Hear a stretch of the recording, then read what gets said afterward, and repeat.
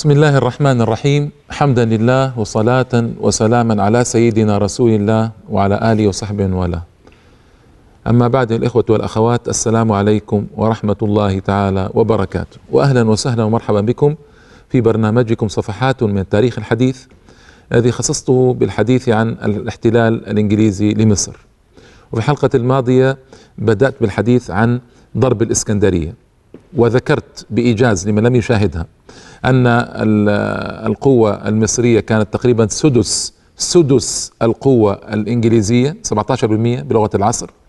والمقارنة في الحقيقة بين المدافع الإنجليزية وثباتها وقوتها وبين المدافع المصرية كانت مقارنة ظالمة. لكن الشرف كل الشرف والمجد لهؤلاء الجنود الذين ثبتوا.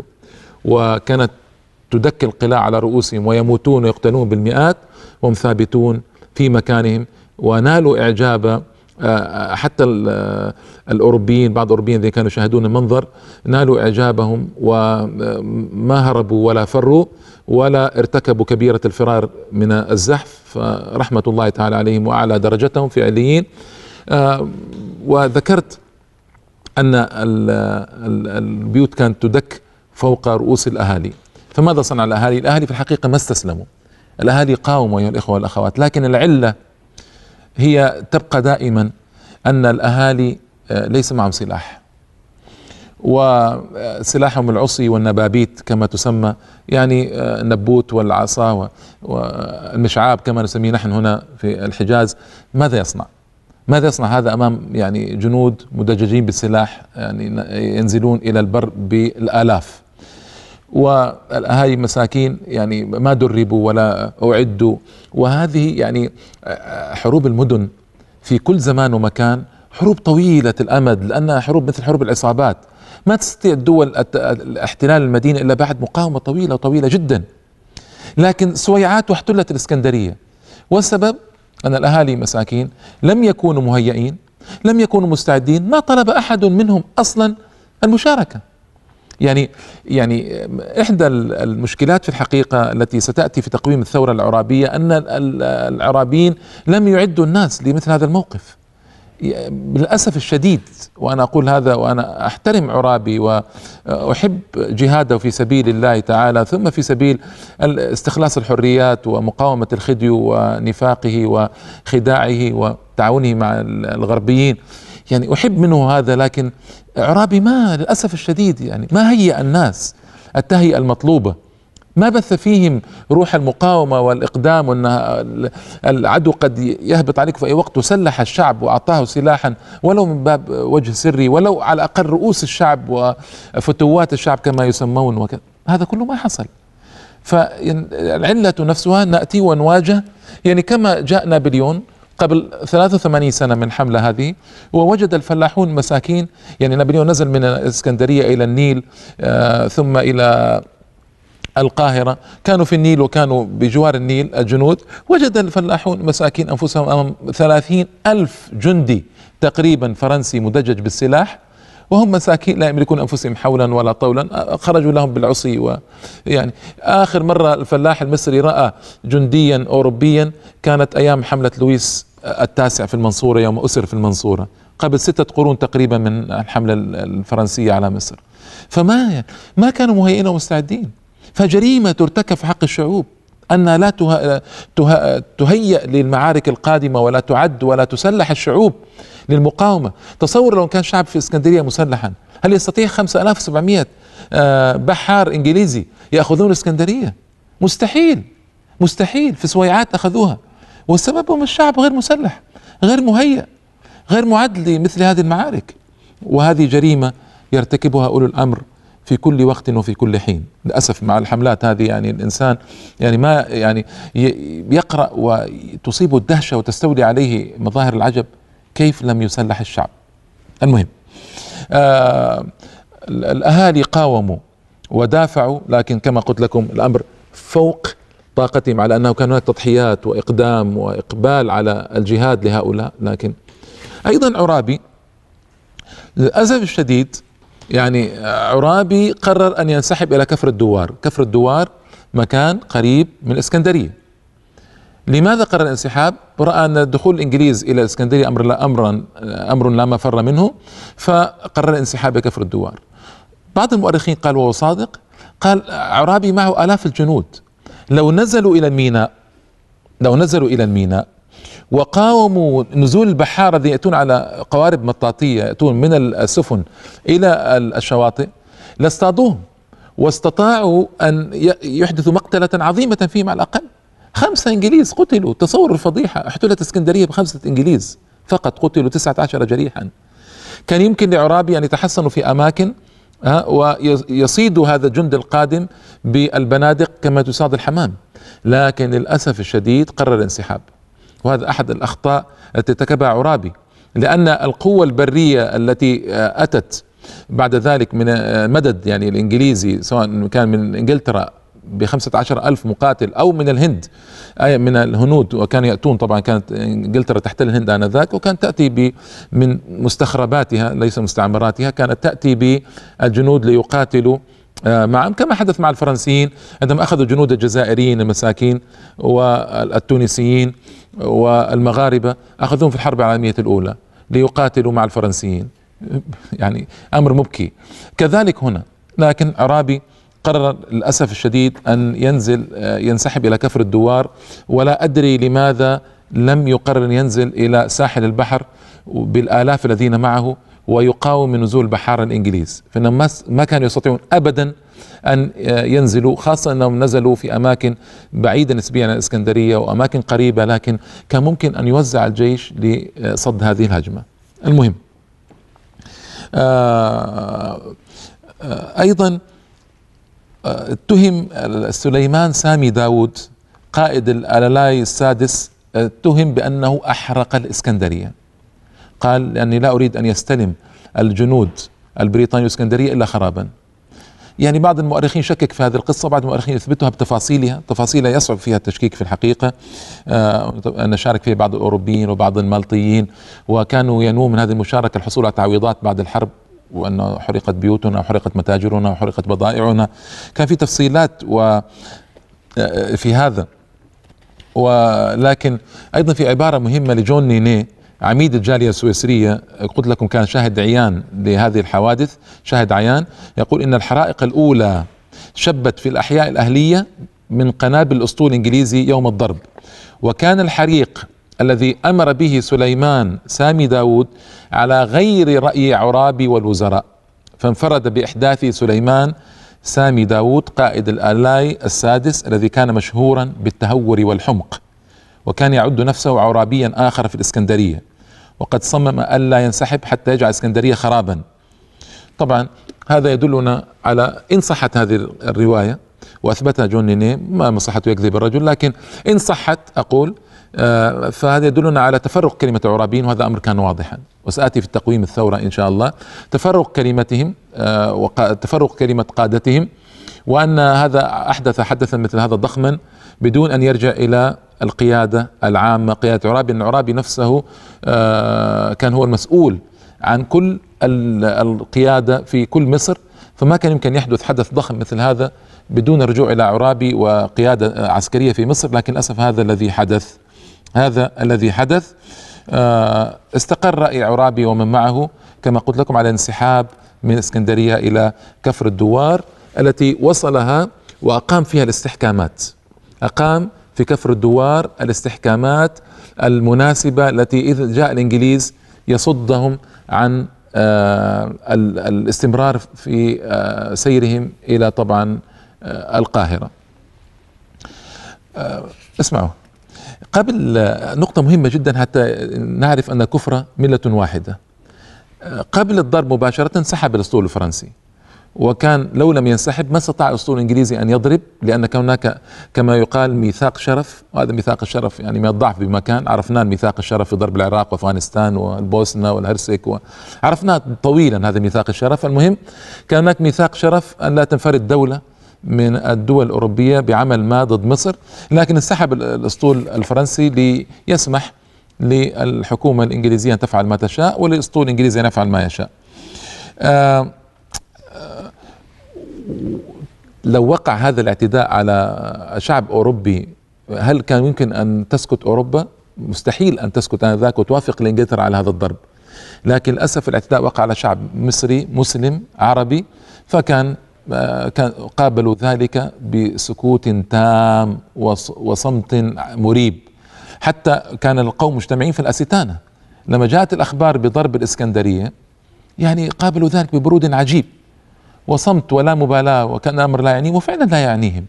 يعني ماذا يعني آه، آه، أرباب الكفر والدول الكبرى في العالم من ضرب الإسكندرية. تضرب كما تشاء هم مصالحهم لا تهتز ومصالحهم لا يمسها شيء.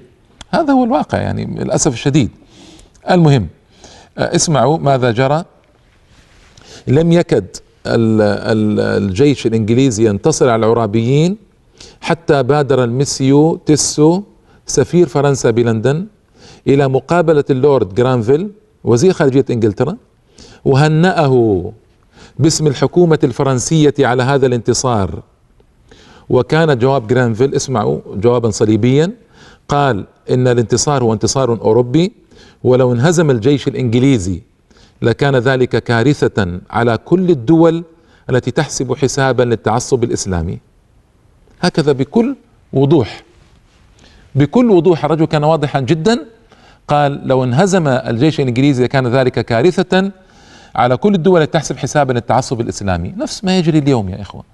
نفس ما يجري اليوم عندما أعلنها بوش حربا صليبية على آه، العالم الإسلامي كما هو معلوم.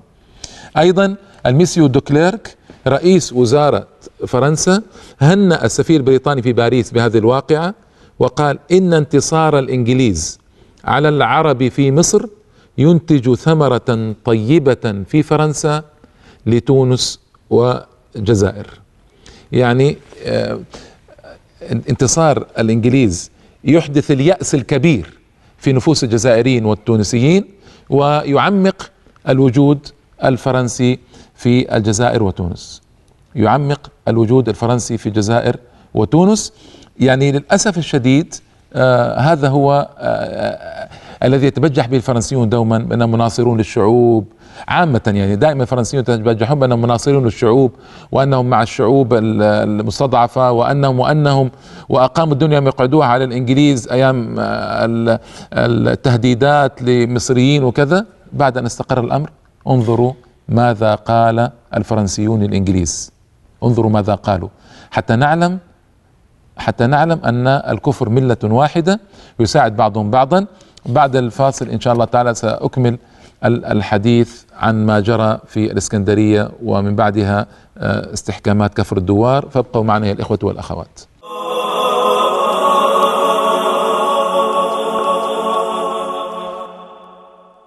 السلام عليكم مرة أخرى بعد الفاصل الإخوة والأخوات. آه، كنت قد تحدثت عن آه، تهنئة فرنسا لإنجلترا بالنصر على المصريين في الواقعة واقعة ضرب الإسكندرية ثم بعد ذلك ما جرى من أحداث التل الكبير التي سأذكرها إن شاء الله تعالى. وبينت أن الكفر كله ملة واحدة ضد الإسلام والمسلمين مهما تبجحت فرنسا وأظهرت من عطف على المصريين كبير وكبير جدا قبل وبعد الاحتلال البريطاني لمصر.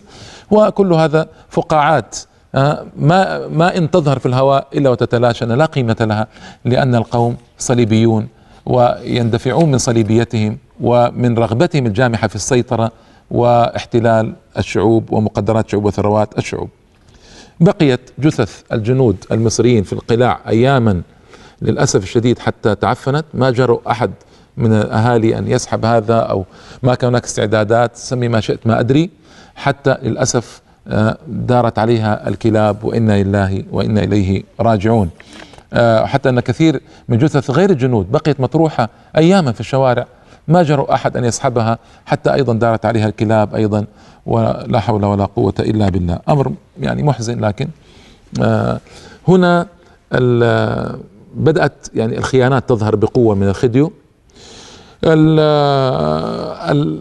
الخديو توفيق أمر بعزل أحمد عرابي آه، من وزارة الحربية. الشعب ما أبه بهذا العزل لأنه كان يكره الخديو وراه عميلا للإنجليز والفرنسيين. انعقدت جمعية عمومية بعد ضرب الإسكندرية باثني عشر يوما انعقدت في القاهرة في نحو 500 عضو على هيئة مؤتمر وطني. فيه المشايخ وفيه بعض آه، الأقباط يعني رؤساء الأقباط ورؤساء اليهود. جاء حاخام اليهود أيضا وجاء أعيان البلاد وكبراء البلاد والأستاذ الإمام محمد عبده تولى عرض الموقف. إلى الآن ماذا جرى؟ واختتمه بذكر فتاوى العلماء الثلاثة آه، عليش والحلفاوي والإنبابي والعدوي. يعني عليش والحلفاوي والعدوي كانوا أئمة مصر آنذاك وكبارها.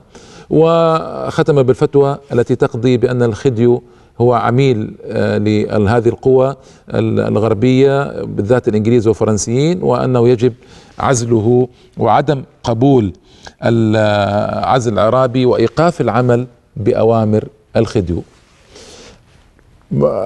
قرار ممتاز لكنه في ظني أنه متأخر ومتأخر جدا. يعني جميع الامم اجتمعت جميع جيدة إنها اجتمعت وأظهرت الرأي الصحيح لكن أين هي من قبل؟ ولماذا سكتت على الخديو آه، منذ أن عين في 1879 آه، آه، جاء الاحتلال في 1882 ثلاث سنوات. من 1296 إلى 1299 اتضحت عمالة الخديو وضعف وضعف الخديو اتضح أمام الإنجليز والفرنسيين. فلماذا سكتتم أيها العلماء؟ لماذا سكتتم يا أعيان مصر؟ هذا الوقت الطويل. لكن أنا سبقا ذكرت أن قضية قضية آه، هيبة. كانت ربما من وضع الدولة العثمانية الذي خد يمثل النظام الشرعي على الأقل أمامهم معين من الدولة العثمانية. وإلا كان يفترض أن أن يتحرك تحرك الشعب ويعلن عزل الخديو من تلك الأيام. وما كانت الدولة العثمانية تستطيع أن تفعل شيئا لو لو أن الشعب اتفق على عزل الخديو ورغبته في ذلك. كما حدث أيام محمد علي عندما قرر الشعب تولية محمد علي وأعيان العلماء قاموا في هذا الأمر قومة رجل واحد. كما تذكرون آنذاك. في آه، الحادي وعشرين من يوليو سنة 1882 سنة 1299 هجرية صدر الأمر بتعيين الجنرال السير آه، جرانت ويلسلي قائدا عاما للحملة الإنجليزية في مصر. ولم يصل مصر إلا في منتصف أغسطس. يعني تصوروا هذا يدل كله على لا مبالاة وأن القوم متأكدون أن الأمر في أيديهم. يعني الحملة بدأت تضرب في 11 يوليو لم يصل إلا في منتصف أغسطس يعني شهر وأربعة أيام. مما يدلك دلولا دلالة واضحة على أن الأمر مبيت بليل وأن القوم متهاونون جدا في شأن مصر وأنهم متأكدون من أنهم سيأخذونها لا محالة. وظل يتولى قيادة آه، الجيش سيمور وجنرال اسمه أليزون إلى أن جاء جنرال ويسلي. كان هناك آه، رئيس وزراء اسمه إسماعيل راغب باشا. تذكرون أني قلت أن إسماعيل راغب باشا عين في وقت حرج وحرج جدا. يوم آه، رفض شريف باشا أن يستلم الوزارة واستقال محمود سامي البارودي ولم يكن هناك وزارة في مصر. وعين آه، الخديو تحت الضغط الشديد من الأعيان أحمد عرابي مرة أخرى وزيرا للجهادية والحرب والبحرية والحربية إلى آخره يعني. فما كان هناك رئيس وزراء لمصر فعين إسماعيل راغب باشا. إسماعيل راغب باشا للأسف الشديد على أنه كان أحد الوطنيين أو كان أحد المشاركين في الحزب الوطني القديم الذي حدثتكم عنه من قبل لكن هنا بدأ يخالف مبادئه وبدأ آه، ينقلب إلى صف الخديو والإنجليز والفرنسيين. آه، الناس تغير مبادئها للأسف الشديد تحت ضغوط معينة لأنهم في الحقيقة لابد أن نقول هذا لم يتربوا تربية إسلامية صحيحة لم يربوا على كتاب الله وسنة رسول الله صلى الله عليه وسلم. هذه كلها شخصيات كانت شخصيات بعيدة عن الإسلام في الجملة. أنا ما أطعن الآن فيهم هل كانوا يصلون ما يصلون يصومون لا يصومون. هذه قضية أخرى. أنا أتحدث عن إسلامهم الذي يحركهم الذي يحكمهم الذي يحكم مبادئهم الذي يحكم توجهاتهم. هذا قطع عندي قطع أنه كان غائبا عن معظم الشخصيات التي ذكرتها سأذكرها قطعي هذا الأمر عندي من خلال النظر في شأنهم وأحوالهم. آه، أما كونهم يصلون أو يحافظون على الفرائض في ذوات أنفسهم وفي خواص شؤونهم هذا ما أتطرق لا أتطرق له ولا أدري عنه أصلا شيئا لكن الإسلام كان بعيدا عن توجهات القوم لذلك ممكن بسهولة أن يكونوا بالأمس في الحزب الوطني واليوم يكونون مع الخديو والإنجليز يغيرون مبادئهم لأن ما عندهم تربية ليسوا ليسوا آه، لم يخضعوا لتربية إسلامية جيدة قوية كما هو معلوم. اسمعوا آه، سيمور طلب منه من إسماعيل راغب باشا أن يكتب خطابا. ماذا في هذا الخطاب؟ اسمعوا ماذا في هذا الخطاب. هذا كلام بعد ضرب إسكندرية. قال لي الشرف الرفيع. اسمعوا هذا إسماعيل راغب باشا رئيس وزراء مصر. لي الشرف الرفيع أن أعلن لحضرتكم من حضرته؟ سيمور الإميرال الإنجليزي ضرب الإسكندرية الذي عدو لمصر والمصريين. لي الشرف الرفيع أن أعلن لحضرتكم أن عرابي يشتغل الآن بإعداد وسائل الدفاع قصده في كفر الدوار. وذلك مخالفة لأوامر جناب الخديو. فكونوا إذا على علم أن الخديو عزم على عزله فهو لذلك أي عرابي المسؤول عما يحدث. فأرجوكم أن تبلغوا مضمون هذه الرسالة إلى حكومة جلالة الملكة أي ملكة بريطانيا. الله أكبر. أبعد هذا الذل ذل؟ أبعد هذا الهوان هوان؟ لكن كما قلت لكم هذا الذي آه، كان مؤسسا آه، أو مشاركا في الحزب الوطني القديم الذي كان الذي آه، يعني مؤسسوه كانوا يزعمون بأنهم وطنيون وأنهم حريصون على مصلحة مصر. انظروا. انظروا ماذا يقول. ثم حتى تكتمل حلقات المؤامرة يدعو في هذا الوقت الحرج الخديو وكان مقيما في اسكندرية كما قلت لكم حتى أن يا العار سيمور عرض عليه أن في قبل الضرب أن ينزل إلى حامية بارجة إنجليزية تحميه في عرض البحر فلا يتأثر آه، ولا يصاب بسوء أما جنود المصريون أن يقتلوا بالمئات لا بأس الأهالي يقتلون بالمئات لا بأس أما هو لا يمس. وعرض عليه سيمور أن يكون في بارجة بحرية. المهم عرض آه، على عرابي أن يأتي إلى آه، إسكندرية يتفاهم معه حول الموضوع. تصور يعرض على وزير دفاعه أو وزير الجهادية أو كذا يعرض عليه أن يأتي إلى إسكندرية وإسكندرية محتلة. بجنود الإنجليز حتى يتناقش في الموضوع. طبعا معلوم أنه إذا أتى سيقبض عليه أو يقتله. لكن انظروا إلى العرض أصلا. يعني عرض مضحك أو مبكي ما أدري ماذا أقول. آه عرابي طبعا اعتذر أن البلد في حالة حرب مع الإنجليز ولا يمكن أن يأتي بنفسه إلى الاسكندريه فمن شاء من الوزراء أن يأتيه إلى كفر الدوار آه ليتناقش معه ويتباحث. لا بأس بهذا. آه مجلس طبعا يعني هذا موقف هو موقف صحيح من آه، عرابي وقف الموقف الصحيح. طبعا ظهرت مشايعة الخديو للإنجليز وفطن عرابي أن الخديو سيصدر قرارات متتالية تشل حركته وبادر بادر هو قبل أن يصدر توفيق هذا هذه القرارات بادر لإرسال رسائل المديرين والمحافظين على الأمن في كل أنحاء القاهرة والإسكندرية وما حولها من مدن أن آه، يعصوا أوامر الخديو وأن يستقروا على ما هم فيه من آه، محاولة الدفاع أو محاولة آه، تطمين الناس وتسكين الناس وتهدئة ثائرتهم وجمع ما يمكن جمعه من القوة آه، لمساعدة عرابي بعد ذلك في قتاله القادم. هذا الذي جرى أرسل أيضا إلى يعقوب سامي باشا هذا كان وكيل وزارة الحربية ليقوم بدعوة العلماء والأعيان للتشاور. أيضا آه، عقد في آه، مجلس أيضا في ديوان وزارة الداخلية وجاء كبار الضباط وكبار الموظفين وقرر المجلس أن يدعو قادة البلاد وقادة الرأي والمشايخ الأزهر وغيره وفعلا انعقد بعد سويعات سريعة المجلس وجاء الشيخ الإنبابي وشيخ الإسلام وقاضي القضاء جاء ومفتي الديار وجاء التجار والأعيان واتخذ المجتمعون قرارا بإعداد الأمة للجهاد. يا حسرة على العباد قرار متأخر جدا. بإعداد الأمة للجهاد وإعلام الناس في القاهرة بأن يستعدوا للقتال. يعني هذا أمر كان جيدا لكنه متأخر متأخر جدا.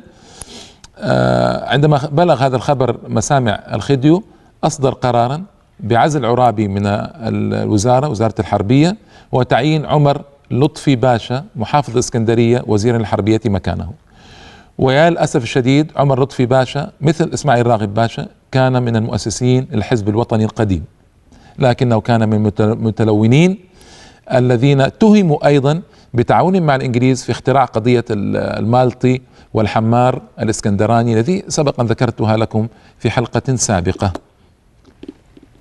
آه وأردف ذلك بمنشور علق في الإسكندرية بأن بإعلان عصيان عرابي وأن عرابي لما أخلى الإسكندرية بدون مقاومة فإن يسوغ للإنجليز أن يدخلوا وأن يحافظوا على الأمن في الإسكندرية. تصور أوضاعنا أيها الإخوة كيف تردت آنذاك وكيف آه، صارت في منحدر رهيب.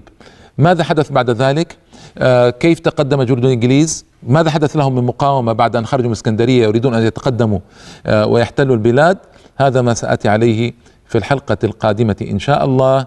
وإلى اللقاء. والسلام عليكم ورحمة الله تعالى وبركاته.